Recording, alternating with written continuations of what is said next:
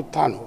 शासन के निर्देश पर धान क्रय केंद्रों पर किसानों से धान क्रय बड़े पैमाने पर किए जा रहे हैं। इसी क्रम में जिलाधिकारी के विजयेंद्र पांडे ने नगवा जैतपुर समेत विभिन्न धान क्रय केंद्रों का औचक निरीक्षण कर धान क्रय केंद्र संचालकों को निर्देशित करते हुए कहा कि दूर दराज इलाकों से आए हुए किसानों को किसी प्रकार की कोई दिक्कत ना हो।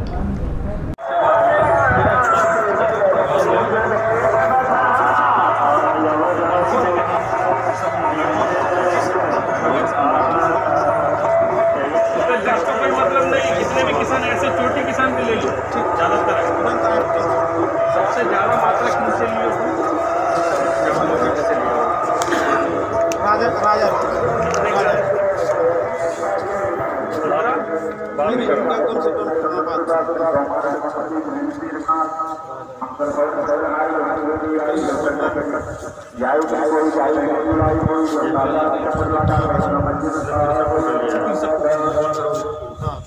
सकल